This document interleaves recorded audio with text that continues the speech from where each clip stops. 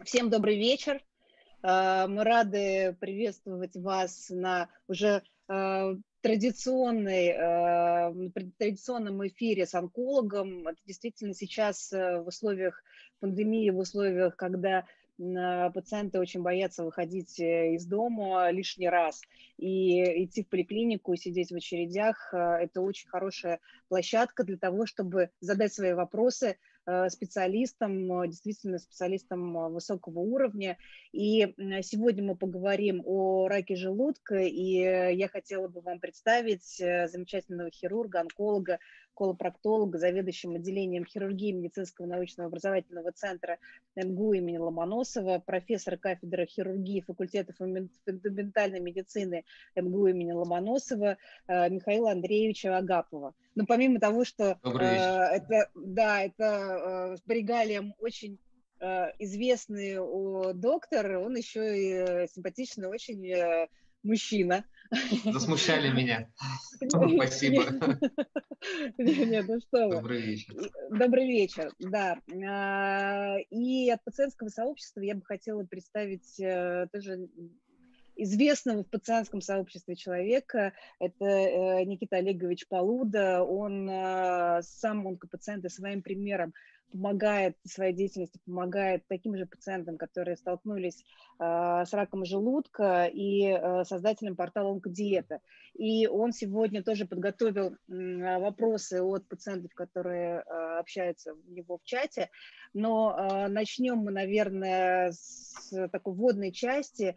И у меня вопрос э, к Михаилу Андреевичу первый. А, все-таки какие, каковы причины рака желудка и, ну, и как вообще, как часто встречается рак желудка? А, вы знаете, когда мы говорим о частоте встречаемости заболеваний, это самый, самый нелюбимый вопрос э, для студентов, потому что это эпидемиология, это то, что мы быстро пролистываем в книжке, в монографии, в статье, мы даже на это не обращаем внимания. А вот следующий вопрос, который, который вы задали, это из-за чего? Э, это тот вопрос, на который в каждой книжке написано вот столечко. Потому что э, частота известна, эпидемиологические исследования существуют, а вот из-за чего это все развивается, по-прежнему по-прежнему нам непонятно. Ну, я отвечу вам так, э, насколько сколько позволяет настоящая нынешняя наука. В отношении частоты встречаемости, то, наверное, рак желудка – это та нозология, которая в последнее время нас э, радует своими эпидемиологическими отчетами, потому что частота встречаемости – начинает снижаться. И эту тенденцию мы наблюдаем в последние там, 10-15 лет. Если э, раньше рак желудка находился на четвертом месте у мужчин, на пятом месте у женщин, то сейчас цифры меняются. Я не могу вам сказать статистику 2020 года, не существует еще этих данных, но судя по общению с коллегами, то, что мы видим, это действительно так. Мы видим, что таких пациентов становится все меньше и меньше. Проблема в том, что а, пациенты по-прежнему появляются у нас уже на достаточно запущенной стадии заболевания. То есть это а, не какая-то заставка появилась. Нет, ничего. А, на, на запущенных стадиях заболевания. То есть по-прежнему отсутствие ранней диагностики, вот это является, наверное, основной проблемой. А, тем не менее, в, а, в европейских странах, в европейской популяции, в, в Соединенных Штатах Америки наблюдается та же тенденция по снижению частоты встречаемых рака желудка. Может быть, это связано с изменением характера питания, может быть, чем-то еще, но, в общем, во всяком случае, сейчас точного ответа на этот вопрос нет. В отношении причин, которые вызывают рак желудка, то этот список можно продолжать ну, очень, очень долго, и все они будут а, с, со знаком вопроса по-прежнему. Вирусы – вопрос.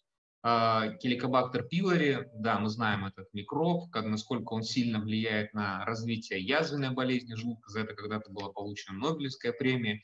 Появилась целая схема лечения, радикационная терапия, которая уничтожает этот келикобактер пилори.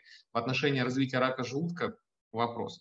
Атрофический гастрит – это вот та ситуация, которая очень имеет высокие шансы к последующему развитию рака желудка. Вот это совершенно точно как бы доказано. А, характер питания, а, употребление горячей пищи, а, физическое, химическое э, неисчезжение пищеварительного тракта, острой, избыточно соленой пищи, то есть то, что мы видим в азиатской популяции. Мы знаем, что Северная Корея, э, Южная Корея, Япония – это страны-лидеры по раку желудка. Там заболеваемость раком желудка – это первые места в общем онкологической заболеваемости. Наследственные факторы, безусловно, имеют место, но вот а, провести генетическое исследование и сказать, что вот у вас есть такие, такой, такой-то набор генов, и значит, у вас велика вероятность. К сожалению, мы тоже сейчас не можем. Для этого должны быть проведены большие популяционные исследования, которые стоят очень дорого, и в настоящий период времени, они проводятся, то они еще не, не завершены. Раньше считалось, что э, язвенная болезнь желудка является фактором риска развития рака желудка. В настоящий период времени это те же, эти данные также пересмотрены, и вовсе не у каждого пациента с язвенной болезнью, с язвой желудка э, в последующем развивается рак, но тем не менее это, безусловно, фактор риска. Таким образом, мы можем сказать, что явных причин вот 100% мы не знаем, но мы знаем те факторы риска, которые есть. Неправильное питание, употребление острой соленой пищи, курение. Курение – это вот тот фактор, который вы можете найти на первом, на втором месте, какую бы онкологическую нозологию вы не открыли. Поджелудочная железа, молочная железа, желудок, толстая кишка, курение, везде будет. Это как минимум, по-моему, около 16 или 18 нозологий онкологических, в которых э, э, ну, то есть э, табак, курение уже совершенно точно доказано. Вот, наверное, если вкратце, я могу вам сказать. Отлично, спасибо. А, ну, понятно, что про наследственность говорить непонятно, говорить или не говорить. А как вообще проявляется рак желудка и на какие симптомы э, нужно обращать внимание, чтобы вовремя попасть к врачу, потому что мы, ну, мы все знаем, что э, рак на ранней стадии, он э, вылечивается, а если ты попадаешь mm-hmm. на последний, то ну, путь лечения будет уже совершенно другой. На что обращать внимание?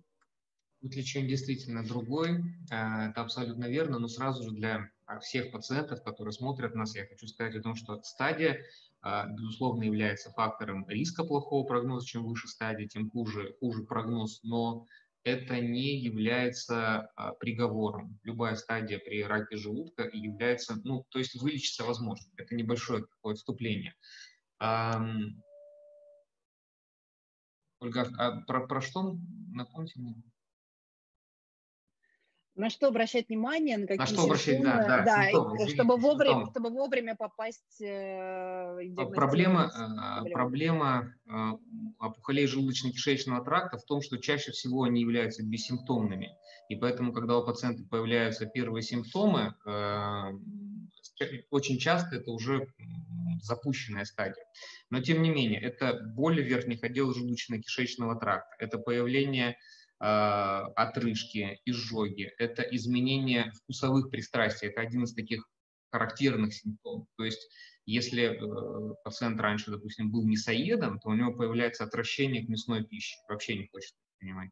Это вот в принципе пропадает аппетит. То есть э, раньше пациент нормально все питался, а сейчас он, помимо того, что появляется отвращение к каким-то определенным видам пищи, вообще снижается аппетит.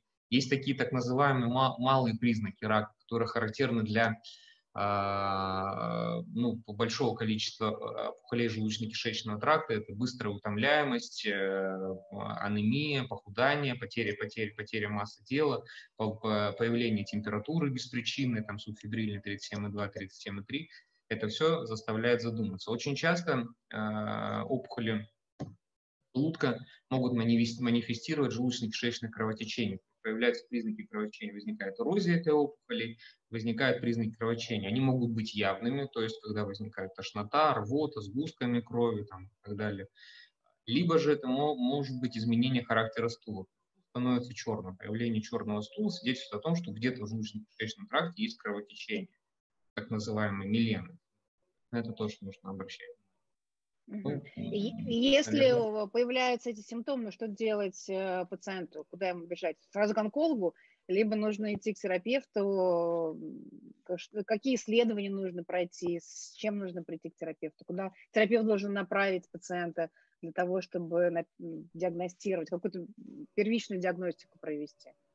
эти э, алгоритмы, они, э, ну, мне кажется, прописаны и понятны. Первично пациент обращается к терапевту либо хирургу по месту жительства, рассказывает там о своих проблемах, и дальше врач должен принять решение о каком-то минимальном обследовании. Безусловно, это будет клинический минимум, то есть назначает общий анализ крови, биохимия и так далее.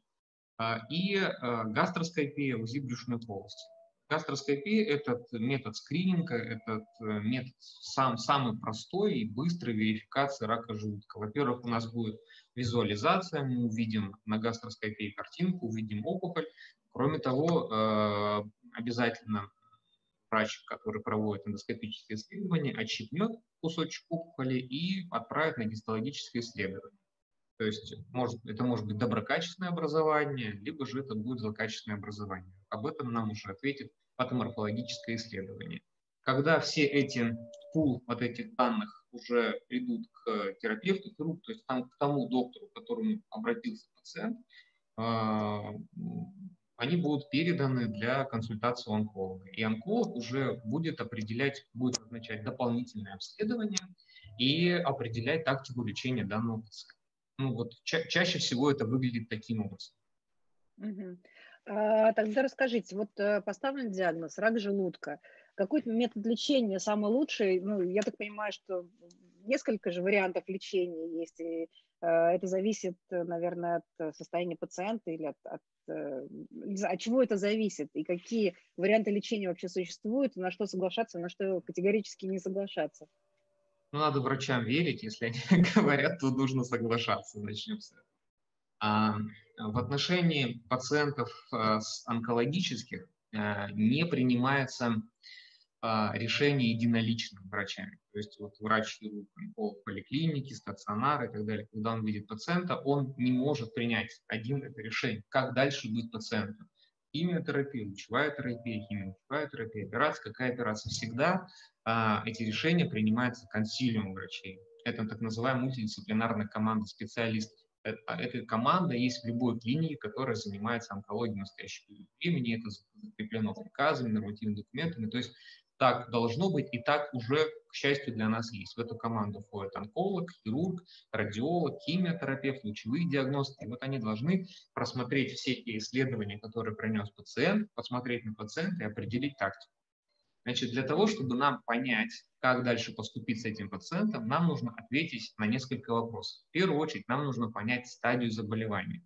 Ну, помимо локализации и так далее, нам нужно понять стадию. Стадия сводится, складывается из трех букв. Первая буква Т в онкологии – это Т, тумор, означает опухоль. Мы должны понять, а, насколько эта опухоль э, инвазирует, прорастает в стенку желудка и э, прорастает ли она в соседние органы, и поставить цифру после этой буквы. То есть либо это Т-инситу, когда маленькая совершенно опухоль, локализованная в слизистой, подслизистой оболочке. Это тот случай раннего э, выявления онкологии, который крайне редко встречается ну, в нашей стране. А, либо же это более глубокая инвазия в стенку желудка, это мышечная пластинка, ну и дальше выход уже за пределы желудка. Как ответить на этот вопрос? Нам необходимо сделать исследование. Либо же это КТ с контрастом, либо МРТ, либо то исследование, которое сейчас все более широко начинает применяться, это эндоузи. А, чувствительность и специфичность эндоузи. И не только в, в буковке Т, про которую мы сейчас говорим, но и в следующей букве. Это буква Н, нодус. То есть определение количества пораженных лимфоузлов.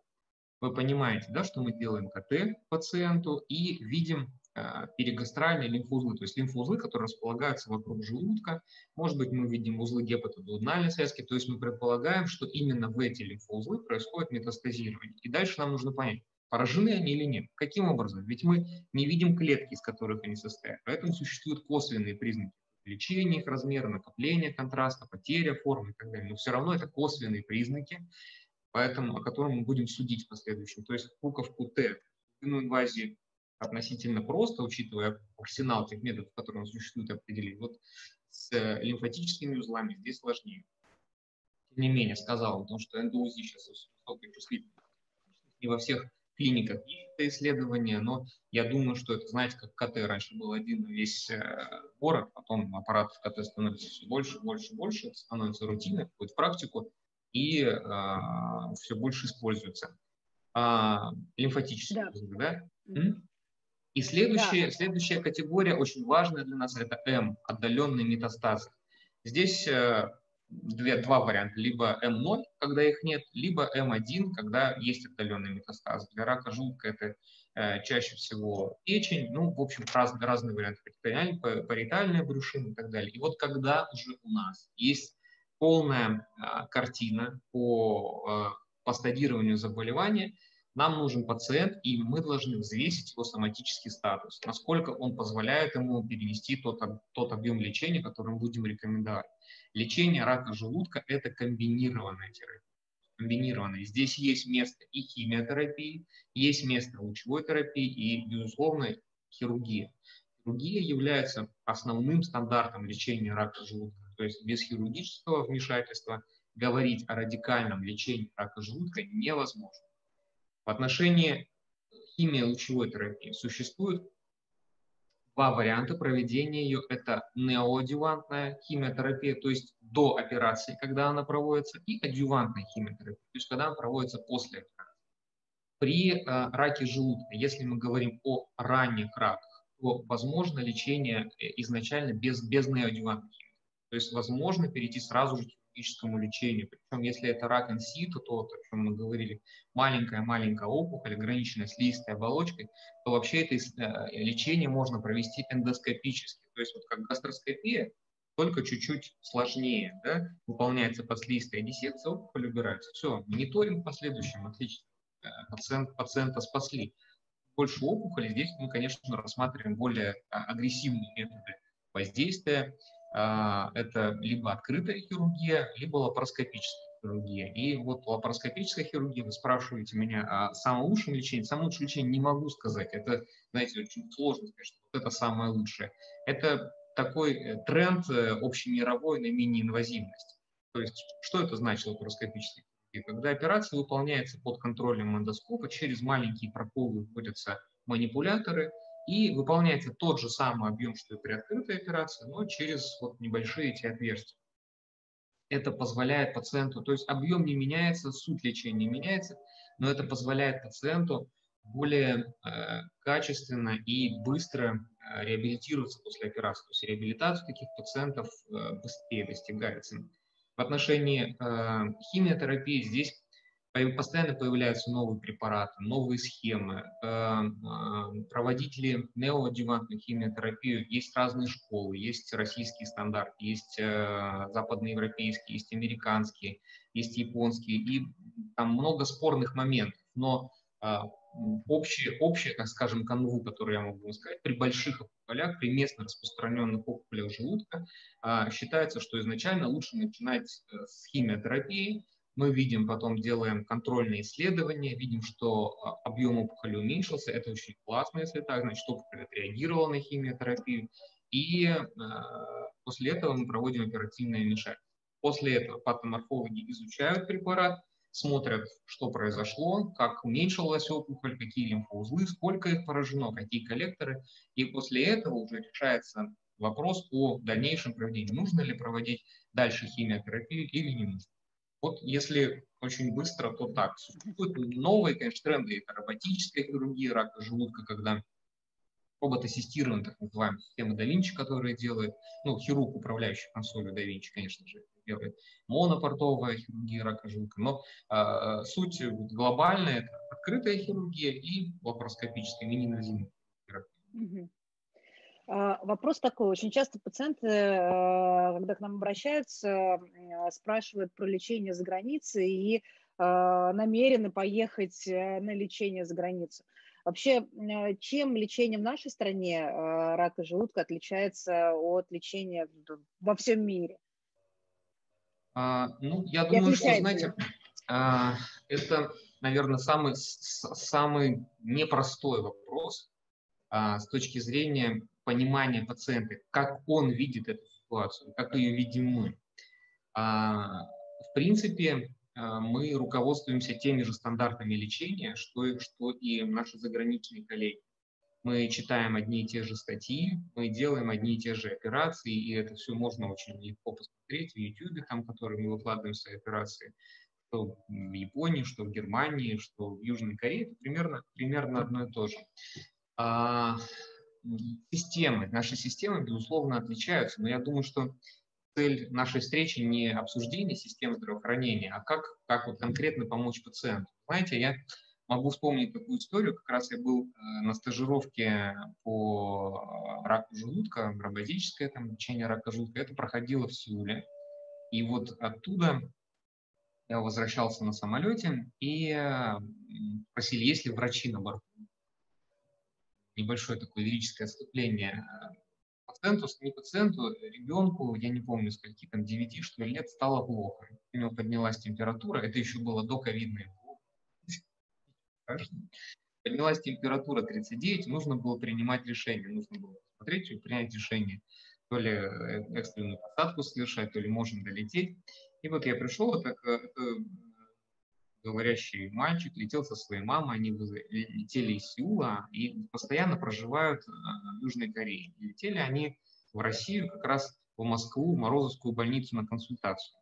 Вот мы общались с мальчиком, с мамой, выясняли, что как поняли, что долетим, что все будет хорошо, что это просто ОРВИ, там, первое проявление. И вот я спросил у мамы, которая имеет опыт лечения в Южной Корее, и э, как, скажите мне с точки зрения пациента, э, как вам медицина, система здравоохранения Южной Кореи? И она мне сказала, хуже только в Америке. Это, это вот фраза, которую ты совершенно точно не ожидаешь. И если погружаться вглубь этой ситуации, то она выглядит следующим образом. Вы знаете, за столько времени, сколько лечат моего ребенка в Южной Корее, до него дотронулись один раз. А один раз. Когда ты заходишь, они тебе рекомендуют какие-то исследования. Ты делаешь эти исследования, их может быть миллион, они, конечно, классные, они дают, наверное, всю раскладку, но, но именно вот моим сыном, по большому счету, скорее всего, никто не интересовался. В Соединенных Штатах Америки там другая ситуация, там нужно ждать согласование страховой компании, все это дорого, вот это входит, вот это не входит, вас могут лечить одной таблеткой в течение там, двух месяцев. Такие случаи мы тоже знаем, э, антибиотик принимал пациент э, месяц, потому что ему не согласовывала страховая компания повторный визит. Поэтому э, на, наша система, несмотря на м, критические замечания, безусловно, она несовершенна, но изначально советская модель, она была выстроена как, как нельзя лучше для, именно для пациента, для конечного потребителя. А, наши, наши сограждане очень часто а, пытаются получить адекватное лечение за границей. Но самое главное, что они должны понимать четко, что там они представляют собой пациентов, не пациентов, а дополнительный заработок для клиники. То есть э, Германия, Израиль, про какую бы страну мы сами не говорили, врачи этой страны отвечают перед государством за лечение э, граждан этого государства. То есть в Германии мы отвечаем вот за германцев. Мы должны лечить за немцев, извините. Мы должны лечить так-то, так-то, мы отчитываемся, отдаем результаты э, и показываем какую-то эффективность. В отношении иностранных граждан не нужно никому ничего отдавать эти данные. Ну, вы понимаете же, о чем я говорю? Да? К, к, отношение к вам будет как, как к источнику дополнительного заработка. Я не говорю, что там врачи плохие, там очень классные специалисты, но э, вы являетесь а, гражданами другой страны. Это не значит, что к вам будет другое отношение. Просто граждане другой страны. Если нам нужно проводить какие-то исследования, то вот если там проводятся какие-то исследования, то чаще всего будут рассматривать э, иностранных граждан, как на включение их исследования. Вот так. А в целом уровень препараты, техника одинаковый. Наши операционные ничем не отличается от операционной в Германии, в Израиле, а, в Южной Корее. Оснащение, мне кажется, в этом плане у нас хорошо. Ну да, с врачами у нас все хорошо. Единственное, у нас с коммуникацией между врачом и пациентом не очень хорошо. Иногда а, пациент действительно не понимает, а, куда ему идти, как, зачем ему идти, что ему делать дальше. Например, сегодня мне позвонила пациентка, правда, не с раком желудка, и сказала, вы знаете, я была на приеме у химиотерапевта, а, вот э, я получила прописку в Москве, мне сегодня позвонили из госуслуг, а как мне обратно попасть к нему на прием? То есть человек был на, на приеме у врача, и э, так к сожалению, и не понял или не запомнил, потому что люди, когда узнают о своем заболевании, находятся в стрессе, они mm-hmm. действительно теряют часть информации. И э, я думаю, что Никита Олегович не даст мне соврать, э, что пациентские сообщества как раз и э, маршрутизируют и помогают этим пациентам советам, куда лучше обратиться. Э, мы уже внутри себя знаем врачей-звездочек, которые действительно помогают пациентам, они просто относятся к ним как к рабочему материалу, отработал э, и пошел дальше. И, э, честно говоря, э, хотела вам задать следующий вопрос, как же вот пациенты без желудка, но я думаю, что на этот вопрос ответит Никита Олегович, да, и задаст те вопросы, которые интересуют пациентов с этой болезнью. Поэтому вам слово. Ну, что я могу сказать? Живут все по-разному. А, потому что все организмы разные. Вот, например, у меня практически идет любые продукты, я не заморачиваюсь с едой, потому что я ем все. То есть у меня все хорошо. Но есть у многих э, проблемы там, с молочными продуктами, кто-то мясо перестает есть, кто-то овощи вообще не переносит. Все, у всех все по-разному. К сожалению, это индивидуально у каждого человека, как и не может быть диеты. Я много раз об этом говорил, что диетой так каковой конкретно э, надо под каждого человека конкретно писать диету по-хорошему. То есть врачи должны. То есть я могу только вот, например, как общие рекомендации э, по питанию у меня получаются. То есть как общий стол.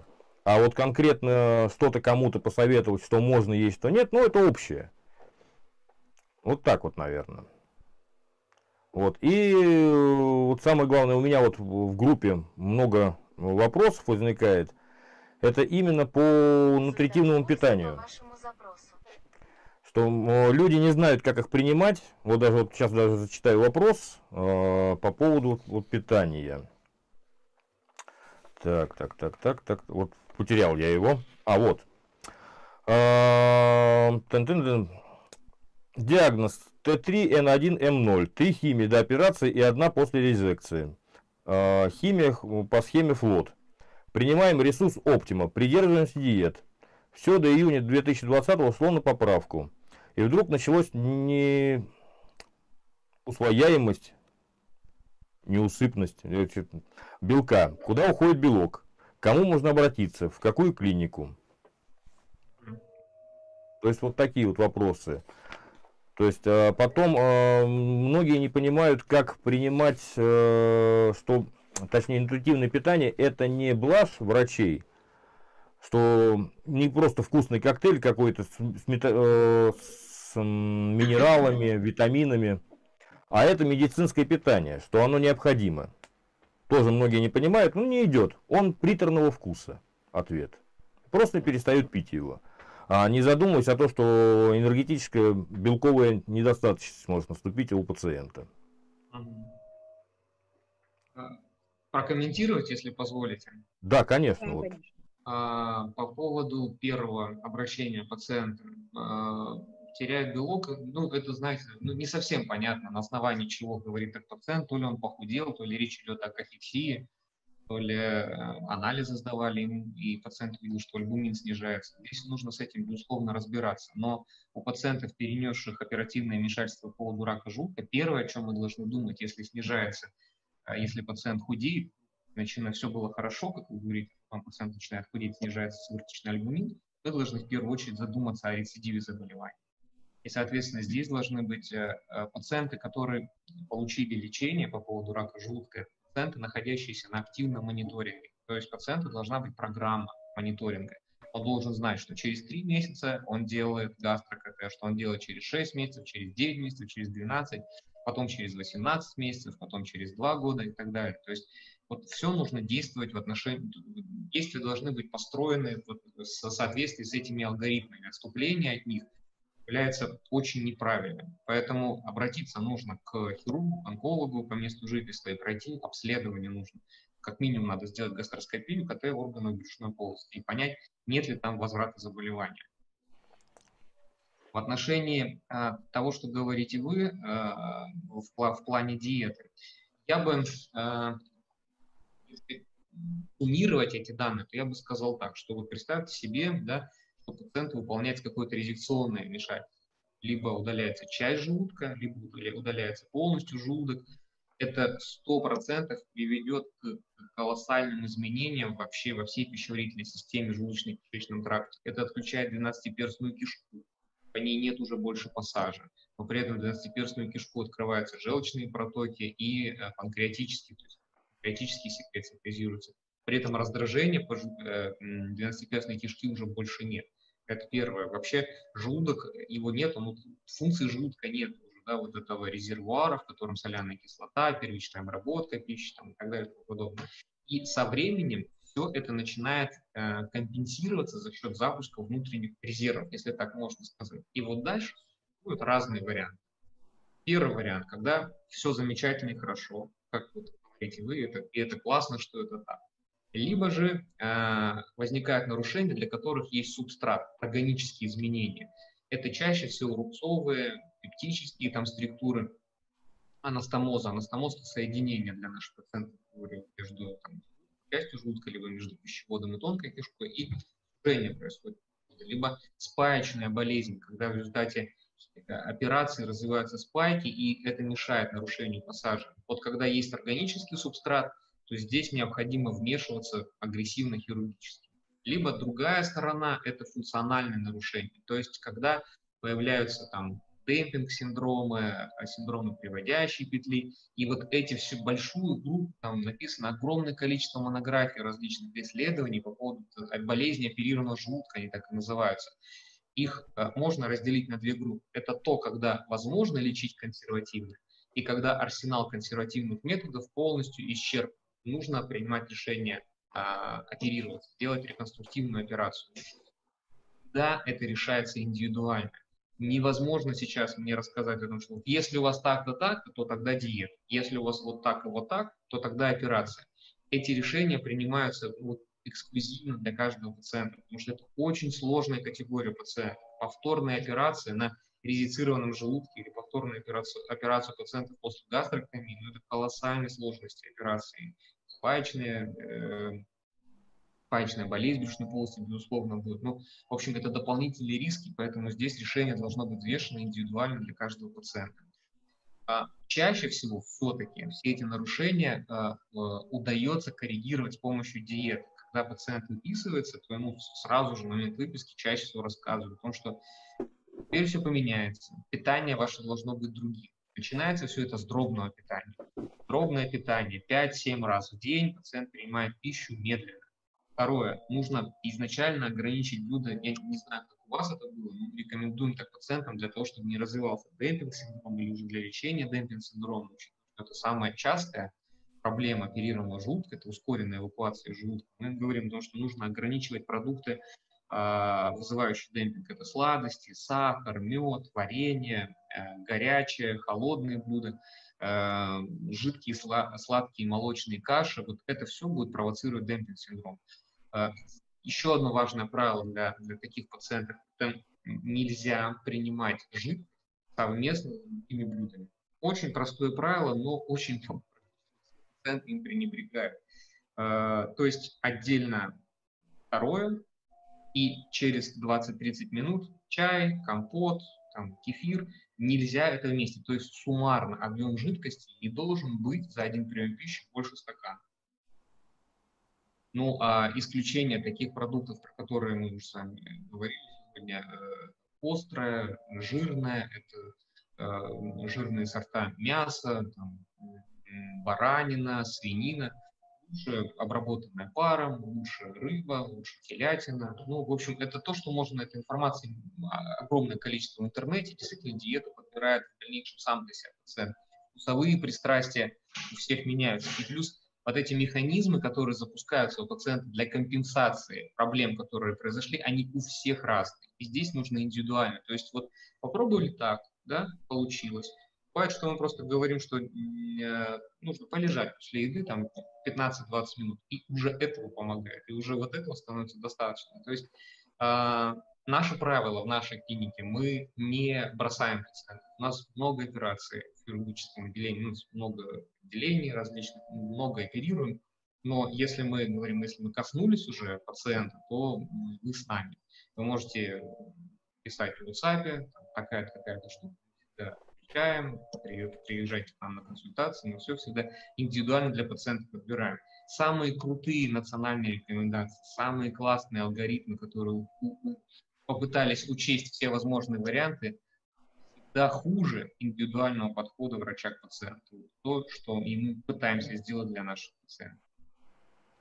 А можно к вам а, по ОМС попасть э, на лечение? Могут ли пациенты и откуда? Из Москвы или со всей России? А, из других стран могут ли лечиться у вас пациенты? Как вообще попасть к вам?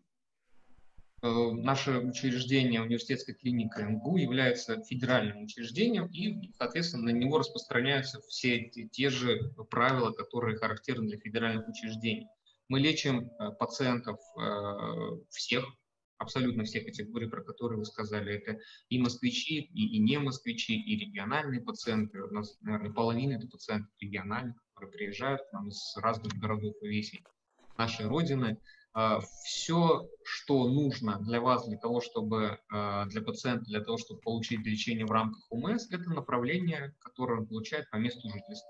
На консультацию, проблем форма 057У, направлении должна быть написана университетская клиника э, МГУ, либо медицинский научно-образовательный центр МГУ имени Ломоносова, и тогда пациенту гарантирована бесплатная консультация.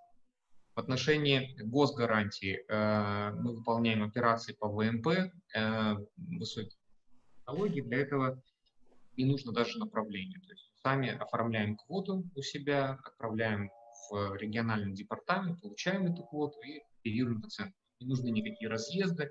Мы сейчас, учитывая вот этим, так скажем, ковидную ситуацию нашу, мы очень многих пациентов э, консультировали заочно, они присылали нам свои документы, мы оценивали их на МДТ, потому что нет возможности пациенту просто приезжать, там, а, Новосибирск, например, приехал на консультацию, поехал обследоваться, приехал опять.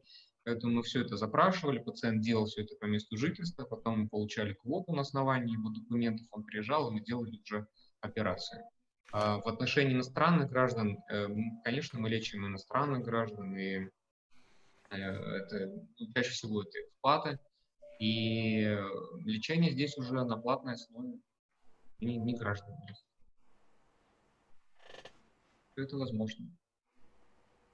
Никит, какие еще вопросы были? Так, вот уточнение к, к первому вопросу по поводу... Так, э, вот 2020 началось все, а, отеки ног до колен и лица. ПЭТ-КТ и метастазов не выявило. А, провели обследование, взяли, э, выявили низкий альбумин 21 единица. А, назначили внутривенные капельницы альбумина 10%, по 100 мл 5 штук. Веропсирон 100 мг, дуи, дуивер 10 мг, отеки спали. Через месяц все повторилось. Вот уже третий раз пытаем, прокалываем альбумин. Сейчас гемоглобин упал э, до 88, был 103. Капает э, веноферон. Вот. А веноферон почему капает? Вот. Э...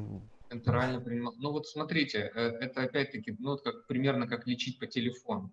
Здесь нужно видеть пациента перед собой, смотреть полную картинку его анализов на основании двух-трех исследований сложно что-либо сказать, но если, если исключается рецидив заболевания, к счастью, Здесь нужно, значит, понимать, что а, тот э, сегмент э, там, желудочно-кишечного тракта, где всасывались белки, вот, видимо, там где-то какая-то есть проблема. Если пациент достаточно получает белков с пищи, а бывает, что пациенты просто перестают есть белок, ну, мясо не получают. Он говорит, куда девался белок, а вы его просто не получаете. Нужно смотреть рацион питания, чем, чем питается пациент. Нужно измерять его массу тела. Существуют таблицы, различные э, формулы, по которым вычисляется необходимый колораж пищи. То есть она должна быть такая-то по калориям, такая-то по белкам, жирам и углеводам. И дальше нужно смотреть, расписывать для пациента, чем, как он может компенсировать вот этот белок. И смотреть, так ли это происходит, назначать ему адекватное питание. Если вот в острых ситуациях, наверное, лучше всего, можно, можно добавлять интеральное питание, то, о чем вы говорили изначально, это разные сбалансированные смеси и смотреть на динамику. И чаще всего удается добиться компенсации такого состояния. Здесь, видимо, этого не происходит, и пациент вот периодами, там, скомпенсировали альбумином внутривенным, все хорошо. Дальше происходит обрыв цепочки, дальше пациент, видимо, не занимается так системно собой, и опять декомпенсация, и опять то же самое. Отеки, альбумин и так далее. Так. Понятно. Вот следующий вопрос. Угу. А, так, об наборе веса. 35 килограмм. Едой пытаюсь поднять его уже год.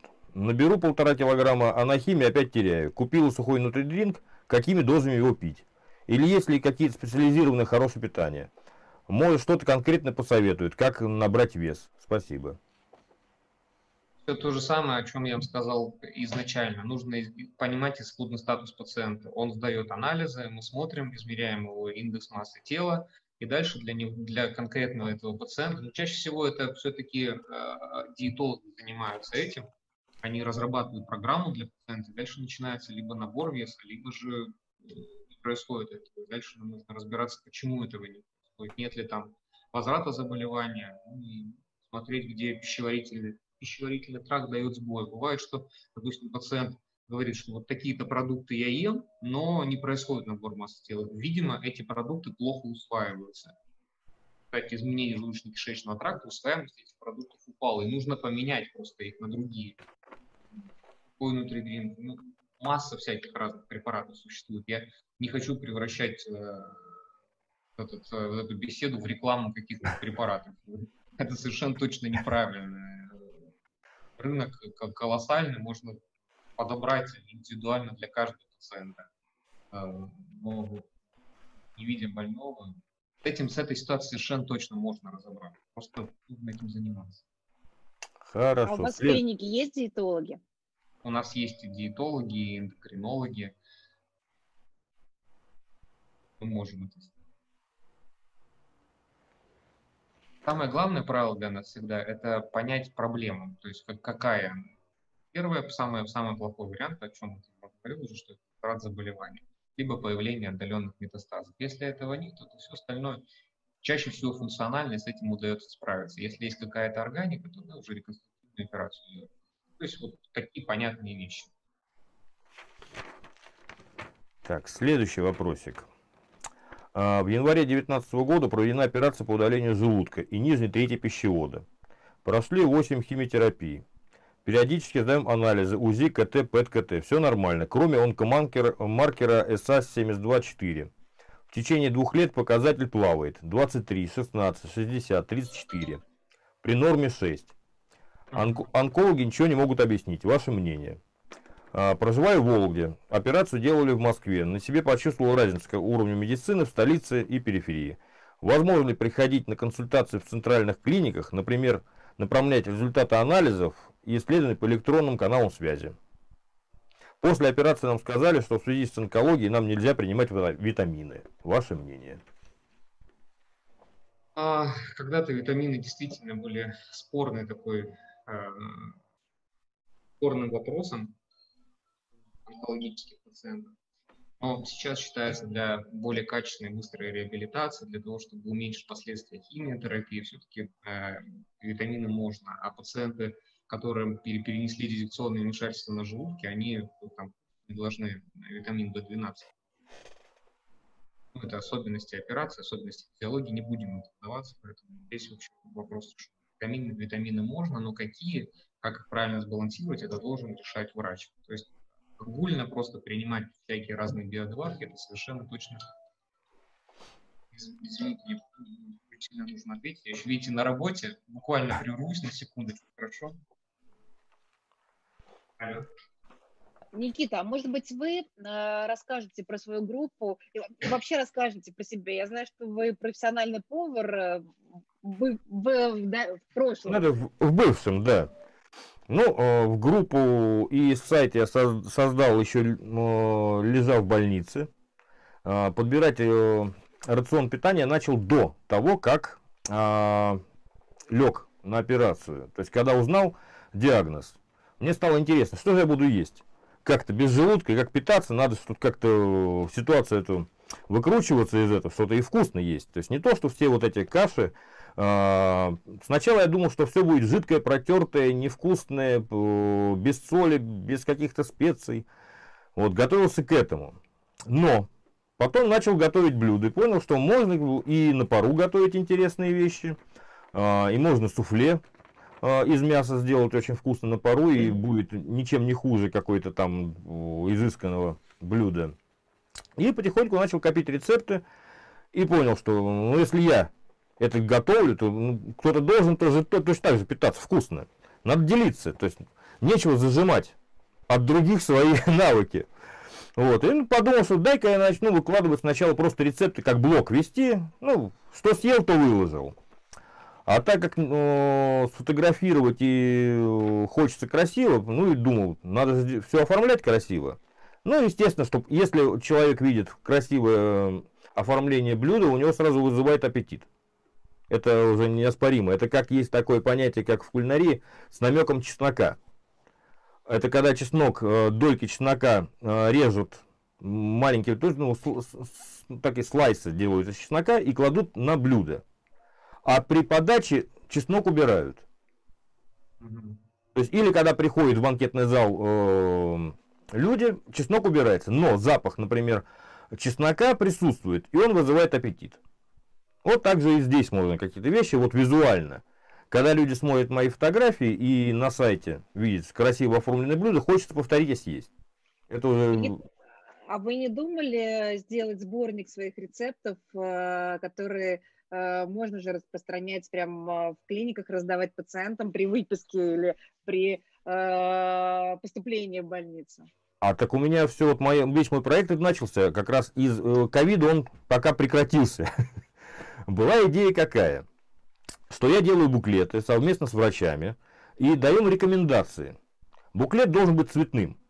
Вот как раз. И э, буклет как э, при, прикалывался бы к э, бумажке вот выписки серой вот этой непонятной, некрасивой, обычно что, мы выписку получили и отдали его онкологу или районному врачу. И куда-то далеко положили, пока не понадобился. А вот эту красивую цветную бумажку с рекомендациями, что можно, что нельзя, куда бежать, если что, какие анализы сдавать, периодичность, то есть ну, стандартные рекомендации, но красиво оформленные. А, человек положит куда-то поближе и будет помнить просто визуально.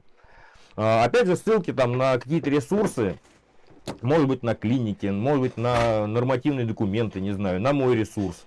А, с питанием тоже вот э, ссылки. Причем даже я э, думал QR-код делать.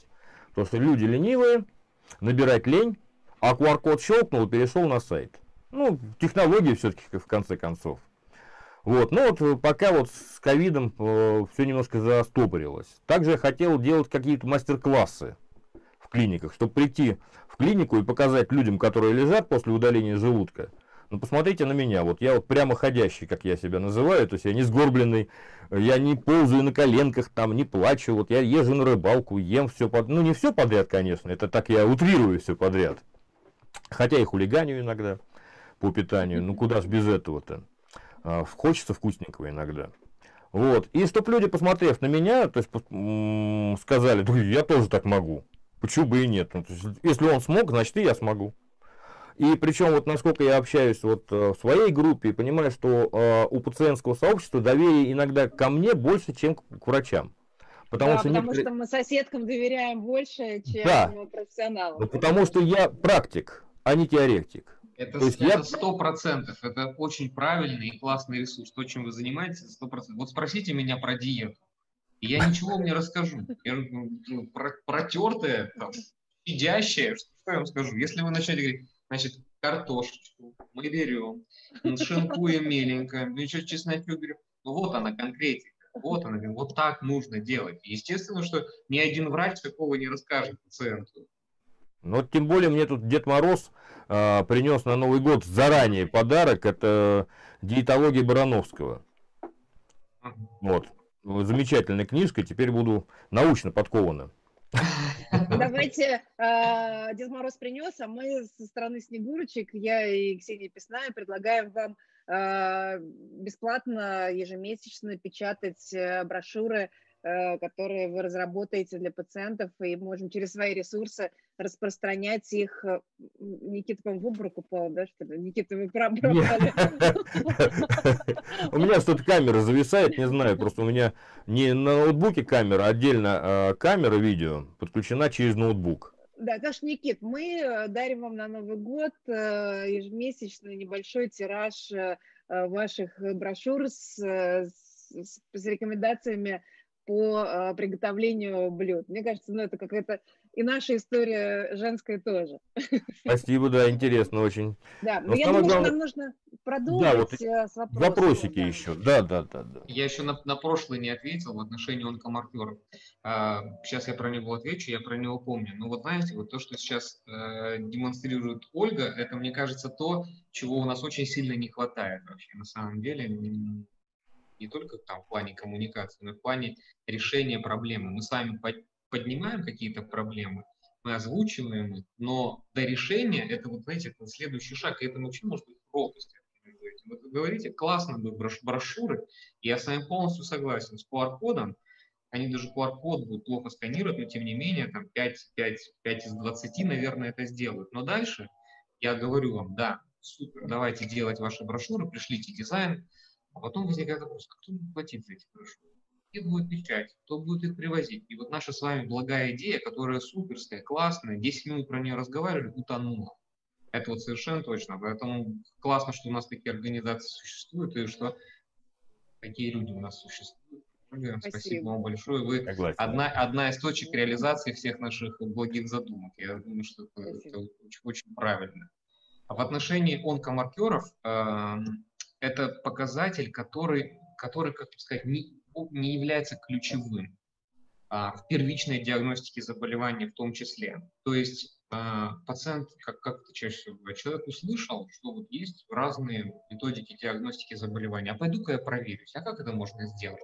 Так, гастроскопия, что за какие-то глотать, говорят, больно, неприятно. Что попроще есть? Попроще есть онкомаркеры. Просто кровь из вены знал, спектр, который там большой, и просто посмотрел. Так вот, если человек видит э, нормальный уровень онкомаркера, это вовсе не значит, что нет онкологии, на этом нельзя успокаиваться. Но в то же время, если пациент, пациент человек видит повышенный уровень какого-то онкомаркера, это тоже ни о чем не говорит. Это вовсе не обозначает, не, не означает 100% наличие какого-то онкологического заболевания. Мы э, никогда в плане диагностики не спрашиваем онкомаркеры пациента. В последующем, когда мы делаем мониторинг, мы э, даем уже этот алгоритм, то есть нужно повторять онкомаркеры, смотреть. Но и при повышении их, и при там, ПЭТ мы делаем, КТ, мы видим, что нет возврата заболеваний, нет отдаленных метастазов, не нужно бояться и впадать в панику, только увидев повышенный показатель. Есть совершенно такое, знаете, новое направление, тормантные метастазы, дремлющие метастазы, то есть считается, что они появляются, но э, не проявляют себя клинически течение какого-то времени. Мы еще, на самом деле, колоссально всего не знаем про онкологию, про биологию опухолевой клетки, почему, как. Мы в самом начале про это говорили, у просто колоссальные пробелы в этом плане. Может быть, где-то есть ткань, которая себя еще не проявляет, но появляется вот уже повышенный, не знаю, нет на это ответа, но совершенно точно для наших пациентов, которые действительно, как сказала Ольга, находятся в другом психическом состоянии, когда слышит про свое заболевание, и медицинский психолог – это тот человек, который тоже должен участвовать в лечении этих пациентов, вот не нужно смотреть огульный интернет, верить всему, что там, и впадать в панику от любой там, запятой, которую вы найдете. Это совершенно точно. Нету, нету рецидива, нету отдаленных метастазов, ничего не светится по ПЭТ, нужно просто Так, следующий вопросик. А, в мае 2019 а, года проведена операция по частичной резекции желудка. Низкодифференцированная андрокциома второй стадии, без метастазов, 6 курсов химии, капицетабин. Вопрос по поводу КТ или МРТ. А, как часто их надо делать и что именно, с контрастом и без. И если на УЗИ и флюорографии все хорошо. Местные онкологи назначили всего один раз КТ без контраста в сентябре 2020 со словами Вообще это не нужно. Хотите рак крови от облучения? Рак крови не хочется, но и пропустить тоже не хочу. КТ с контрастом выполняется через 6 и 12 месяцев после операции, потом через 18 месяцев. КТ с контрастом делается. Если нет возможности КТ с контрастом делать, тогда делается МРТ. Здесь в зависимости от пристрастий, так скажем, онкологов, которые будут смотреть эти КТ или МРТ. То есть чувствительность и специфичность этих методик, она примерно сопоставима для мониторинга э, рака желудка. То есть здесь не принципиально, но то, что с контрастом, совершенно точно. 6, 12, 18, 2 года. Это минимум. Ну, это одно из исследований обязательно. То есть рак крови не боятся?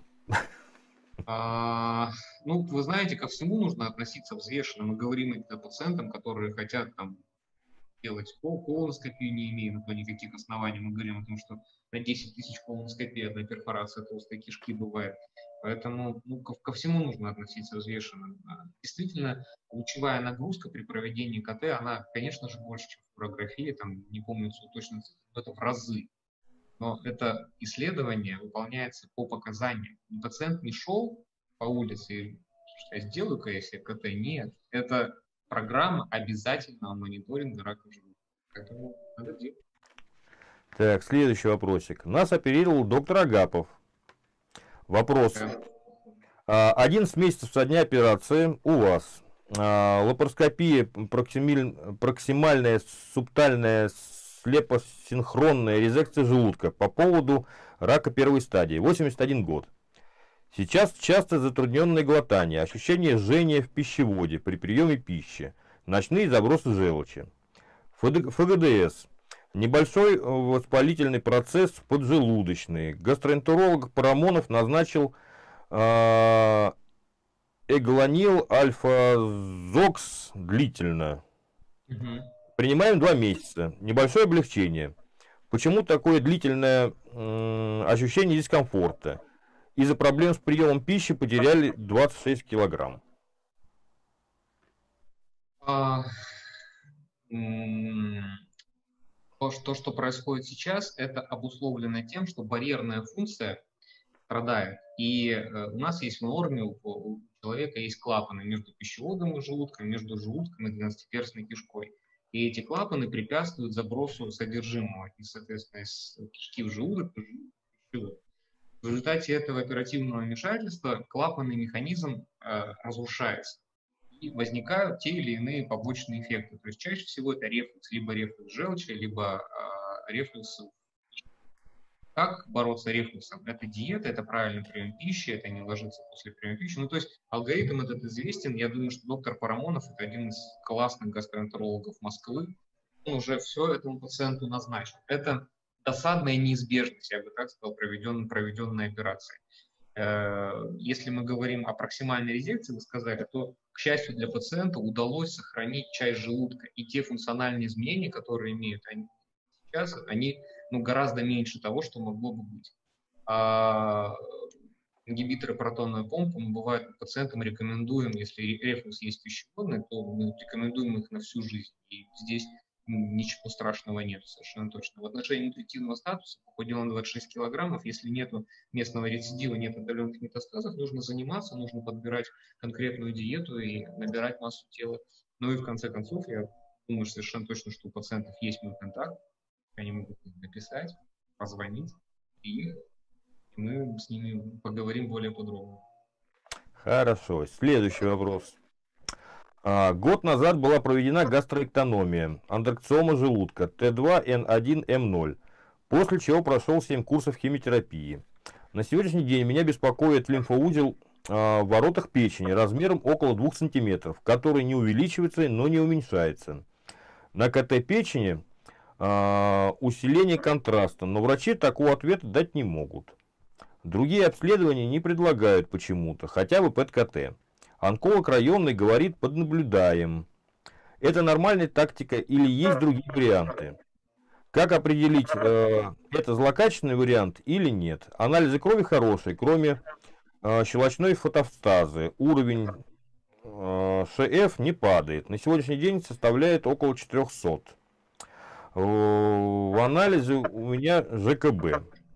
Как бы считаете, есть повод волноваться, ведь все э, процедуры прохожу ИКТ, УЗИ и ФГДС, но точно однозначного ответа не получил до сих пор по поводу лимфоузла. Спасибо.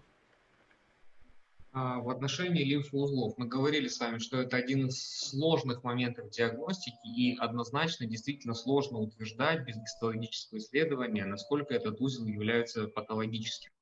Если мы говорим о данном конкретном случае, то есть его размеры 2 сантиметра, а, прошло после операции уже длительный промежуток времени, то есть нельзя сказать уже, что это просто реактивные какие-то воспалительные изменения. Плюс я так понял, что узел копит контрастное вещество. И это является факторами риска. И э, в данном случае я бы начал с того, что я посмотрел бы эти э, снимочки сам, КТ. Вот. Можно посмотреть, где этот узел лежит, гепатодональная связка, почему он не вошел в стандартный протокол лимфодиссекции. В общем, с этим пациентом нужно разбираться. И в конце концов этот, этот узел удалить просто и все. Прям, прям совсем нас будет если мы действительно видим хорошее накопление контраста, неправильную форму, его нужно удалить. И здесь, видите, вы еще сказали, что у пациента есть желчекаменная болезнь. Это частая ситуация после э, операции на желудке, потому что операция на желудке, она чаще всего сопровождается еще пересечением э, нервов, э, не будем вдаваться в подробности каких, но э, желчный пузырь становится большим, а тоничным, в нем образуется камни. И бывает, что мы оперируем пациентов по поводу желчекаменной болезни, она начинает носить приступ то есть появляются приступы э, с обострениями, и мы рекомендуем просто им холецистектомию. И если это есть у пациента, просто пойти на плановую лапароскопическую холецистектомию, заодно посмотреть гепатодональную связку, видеть этот узел и произвести лимфодиссекцию, убрать. Вот, следующий вопросик, ну это группа такой, да, я их, наверное, совмещу. Ну, всем знают, что B12 не усваивается у нас, как и да, железо. Да, поэтому а, получаете его обязательно курсами. Да. А первое, это схема. Всем врачи назначают разную. Кому-то а, раз в полгода, кому-то, как вот мне, например, а, раз в месяц. Один миллиграмм я колю, вот, мне не трудно. Сам, сам себе и на рыбалке колю, то есть это все хорошо. У меня проходит. Бывает, бывает раз в полгода, бывает раз в три месяца. Здесь нужно смотреть, как формируется депо, рассчитывать. Не, не скажу стопроцентную схему для всех, точно вам могу сказать, не скажу. Хорошо. Вот еще такой вопрос. Так, а, по поводу, как надо а, часто мониторить кровь на витамины В12 и железо. Ну, раз, раз в три месяца, как правило, мы рекомендуем пациентам. Э, как, как правило, в последующем, если мы изначально понимаем пороговые уровни, как это все происходит у пациента, в течение трех месяцев все это как-то более-менее устаканивается, все компенсационные механизмы начинают работать, в следующем, ну, примерно все это цифры будут одинаковые, и план коррекции, он будет уже к трем месяцам разработан. Дальше нужно будет просто ему следовать. Каждый день следовать. Вот еще вопрос от меня. Э, ну, тут тоже вот в группе просто много раз э, возникал вопрос. Э, часто бывает так, что человек принимает железо и идет сдавать в этот же курс приема железа. И у него, естественно, повышенное железо. Он бросает принимать железо. Вот, через сколько после окончания курса приема железа надо идти сдавать на содержание железа в крови? Во-первых, нужно сдавать в первую очередь до приема препаратов железа. Исходный уровень нужно знать там не только там, и железосвязывающая способность, там много параметров, которые нужно посмотреть, только свободное железо. В целом нужно оценить эту так скажем, ситуацию. А в последующем а, для пациента подбирается доза препарата, которая должна насытить все его депо нормально, достаточно для синтезирования адекватного количества гемоглобина. И пациент получает этот курс, э, извините, интерально, внутривенно, там, как, как подберут уже доктора, и через 2-3 недели можно будет оценить ну, повторный анализ.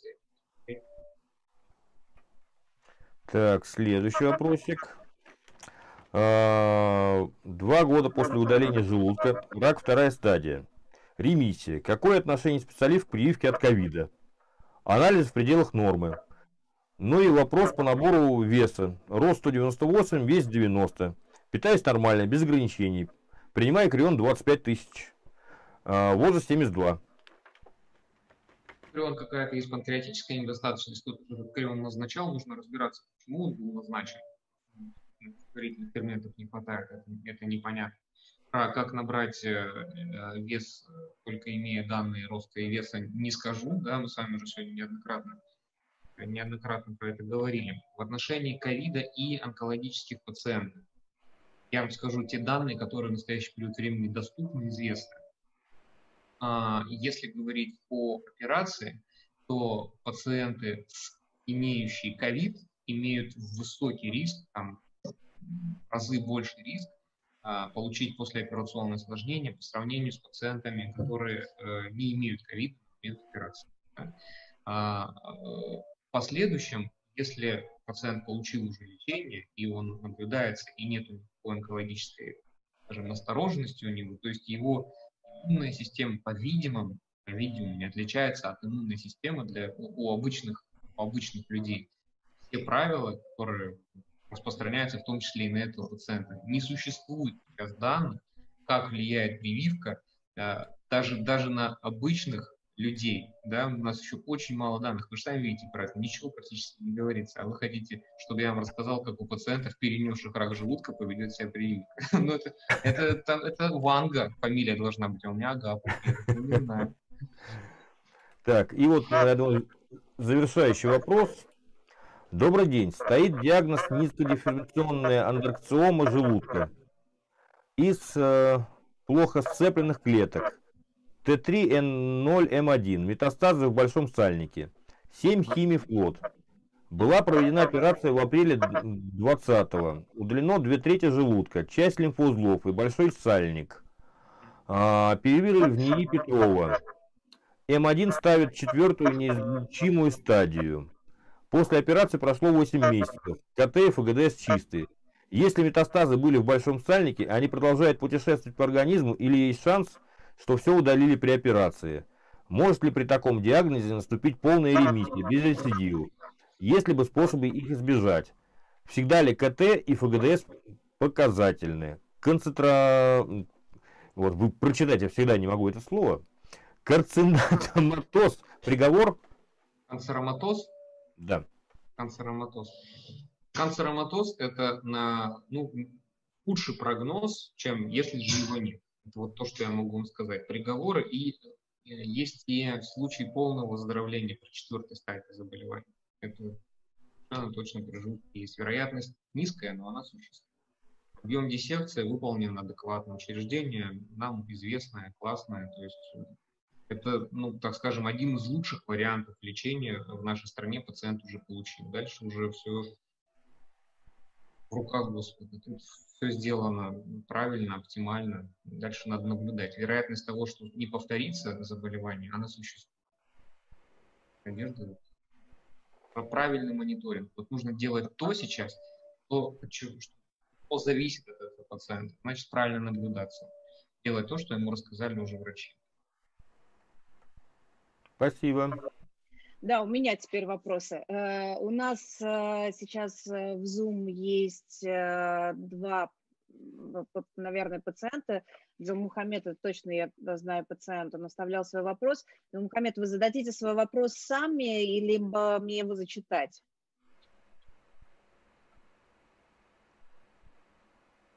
Мухаммед, включите, пожалуйста, ваш микрофон. И Мирослав, Мирослав, вы будете задавать свой вопрос?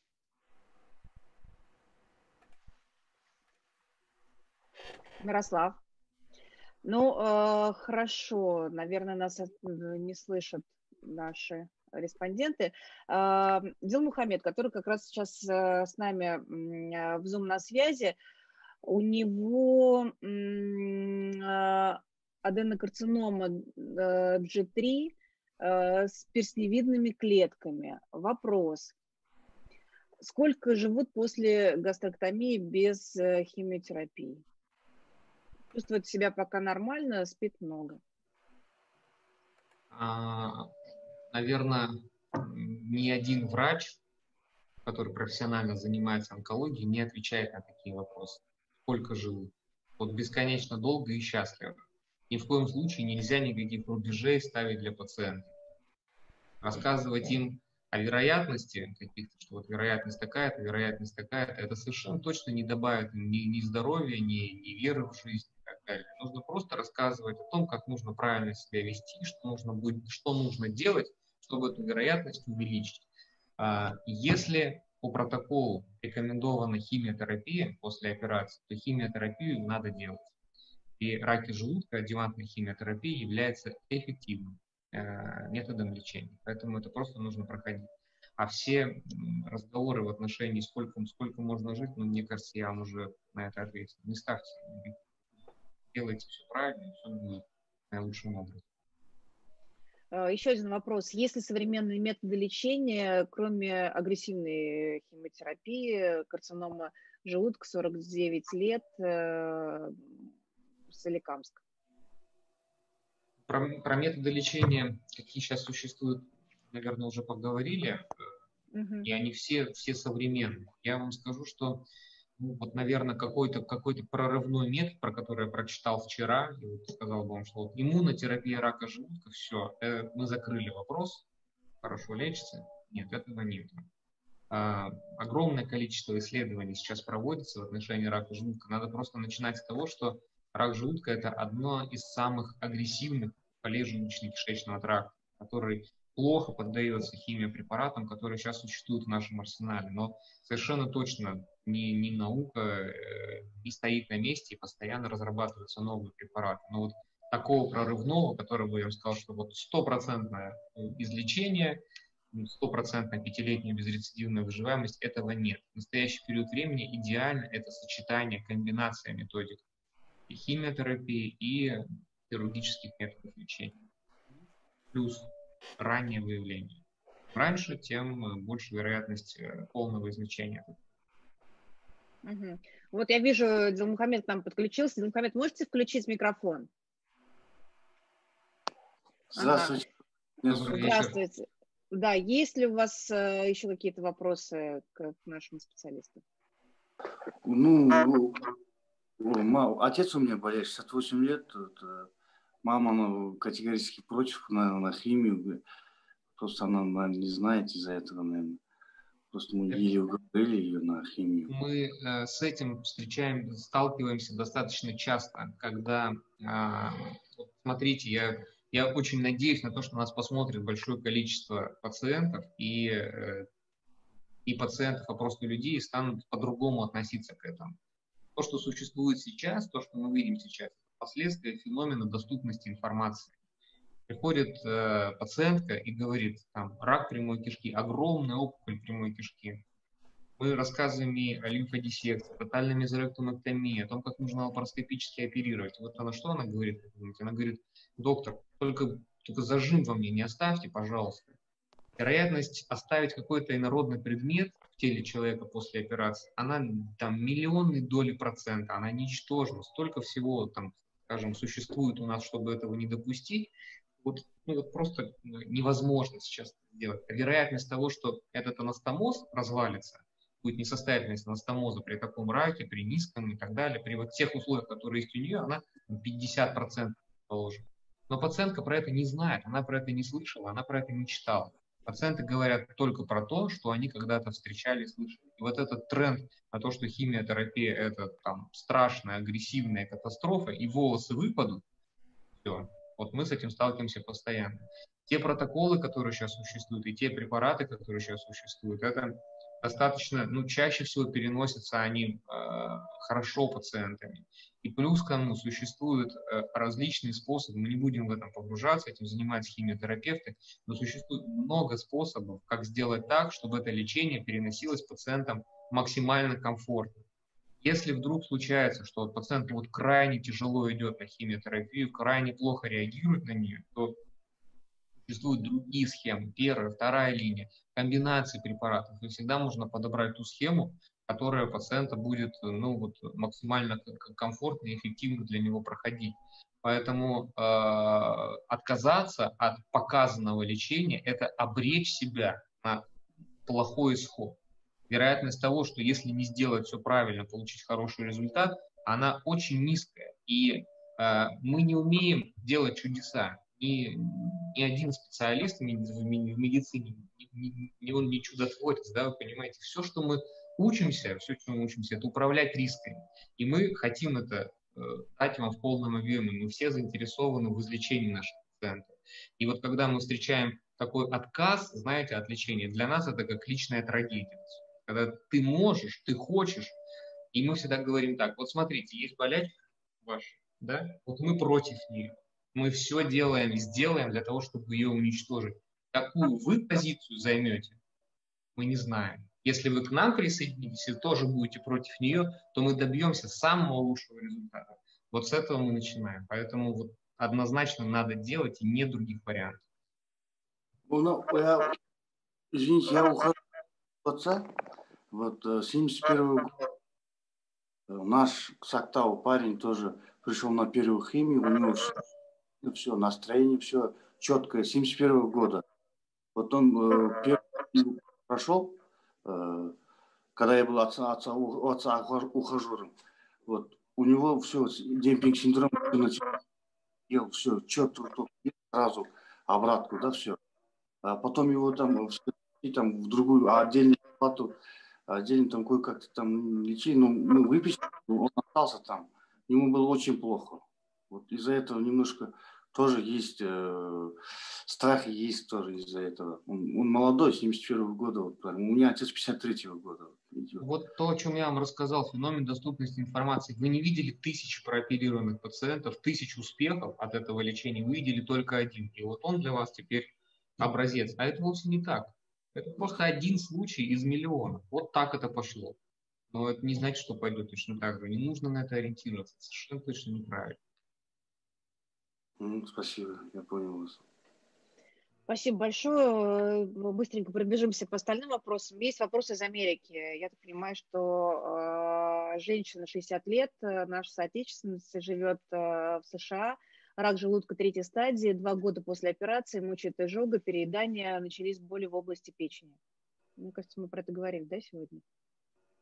Про болезнь оперированного желудка мы сегодня уделили, наверное, колоссальное количество времени. Большую часть времени мы про это говорили. Угу. Рак желудка женщина 36 лет из Молдовы. А, можно ли пить кофе с утра и вредно ли а, пить кофе, без кофеина пить не могу. С какими трудностями в лечении реабилитации вы сталкивались? Это мы у нее спрашивали. А, она ответила, что восстановление после операции. То есть восстановление после операции прошло тяжело, а сейчас, э, я так понимаю, что она, наверное, восстановилась и спрашивает, можно mm-hmm. ли пить э, натуральный кофе. Я думаю, что, наверное, пациентка уже ответила на себе на этот вопрос, и, наверное, она его уже пьет. Сейчас все, что ей нужно, это получить разрешение для того, чтобы с большим удовольствием это делать. Если вам э, такая там, э, кофе приносит такой, такой, такую степень удовольствия, и получаете от этого удовольствие. Нету ни одного исследования, которое бы сказало, там, употребление кофе при, там, при оперированном желудке приводит к тому-то. Кофе – это тот продукт, про который написано колоссальное количество исследований. Каждый год, наверное, еще больше их появляется. То это профилактика цирроза, то это приводит циррозу, постоянно все переписывается, изменяется. Но те эндорфины, которые вы получите от употребления вашего любимого напитка, точно для вас будут полезнее, чем все исследования, про которые я вам сказал. И. Отлично. Следующий вопрос. Э, рак желудка, женщина 59 лет, тотальное удаление из Красноярска. А, постоянная незаживающая эрозия пищевода, тяжелый демпинг-синдром, сильная изжога и многое другое. Что нужно ей делать? Обращаться, наверное, к лечащему врачу к своему? Это, ну, с этого можно начать любое, если что, обращаться, да. Здесь нужно смотреть ингибиторы протонной помпы, сколько она получает. Может быть, нужно повышать дозировку и принимать их постоянно. Плюс моделировать э, диету, правильный прием пищи, образ жизни, что тоже, что тоже важно бывают такие случаи, когда мы все вроде сделали, все, все откоррегировали, и пациент говорит, а у меня все равно изжога. Начинаем копаться, и, и оказывается, что пациент там, занимается тяжелой атлетикой и, и постоянно качает пресс. И мы говорим о том, что повышение давления тоже может провоцировать этот рефлюкс. И нужно просто от этого отказаться. И вот один раз такое было, поменялось. А все остальное, то, что мы делали, не действует, потому что провоцирующий фактор сохранялся. То есть... угу. Следующий вопрос. Женщина рак желудка из Киева. А чего могут быть спазмы в животе Э, который возникает после еды, особенно днем, э, тревожность. После удаления желудка прошло полтора года, а в мае 2020 э, года делали лапароскопическую операцию, удаляли грыжу большой, большой сальник, ну, большого сальника, как я понимаю. И сейчас спазмы в животе мучают пациентку. А чего это может быть? Он спрашивает, может быть, на нервной почве. Может быть, ли это на может быть, почве? Может быть, и на, на нервной почве. Нам нужно, во-первых, в первую очередь исключить органику и понять, что нарушения пассажа нет. То есть, если пассаж хороший, пациент был под этот пищевой комок, который поступил, он начинает дальше правильно, правильно продвигаться по тонкой кишке, попадает в толстую кишку и выходит. Если вот мы видим о том, что нарушений пассажа нет, все, мы списываем тогда это на функциональное расстройство, начинаем прием спазмолитиков, может быть, какие-то легкие антидепрессанты, ну, там подбирается все это. Но изначально нужно исключить органический процесс. Может быть, там какая-то спаечная болезнь брюшной полости, может, действительно какая-то спайка способствует вот, нарушению хроническому продвижению пищи. Ну, пищевой комок, грубо говоря, застревает, возникает разболевой синдром в результате того, что кишка испытывает большее давление для того, чтобы пропитать этот пищевой комок химии. Вот если это исключить сказать, что все остальное нормально, дальше уже ну, стандартное лечение. КТ, рентген, исследования с водорастворимым контрастом ответит на этот вопрос.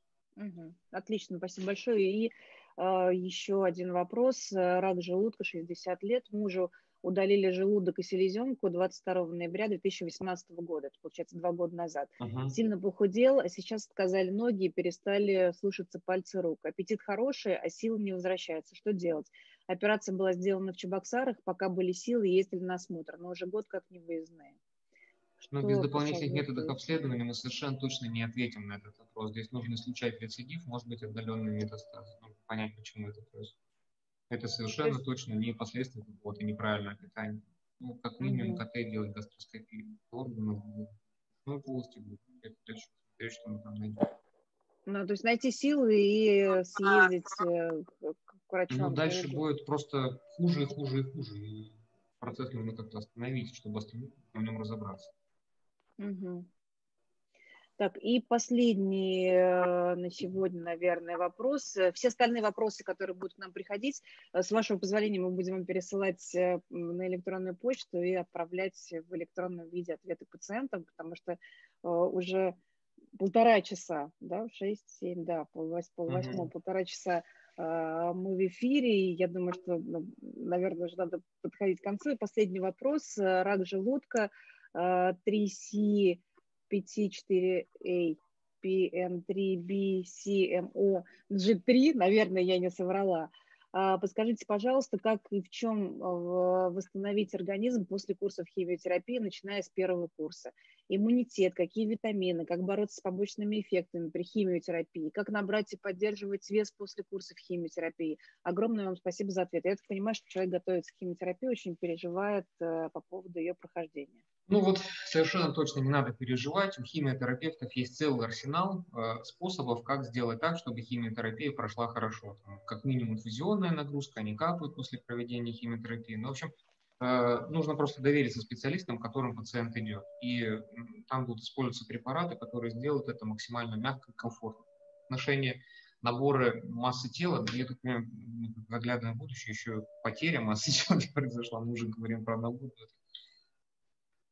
правильные. Может быть, все, все это обойдется без потери массы.